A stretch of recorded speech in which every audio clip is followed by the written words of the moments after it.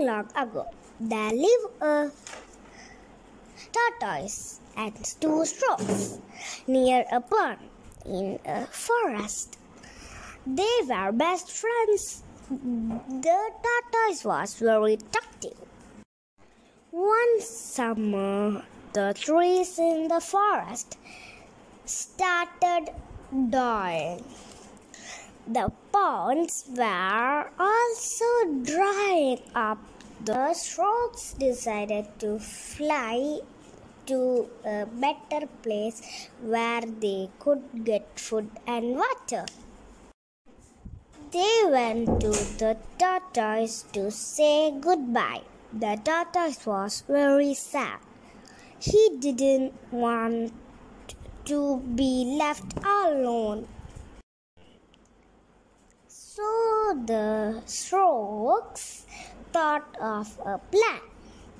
They bought a long stick and asked the tortoise to hold the stick in the middle with his mouth. The storks warned the tortoise to not open his mouth because if he did, he would fall down. The tortoise promised the storks that he would not talk.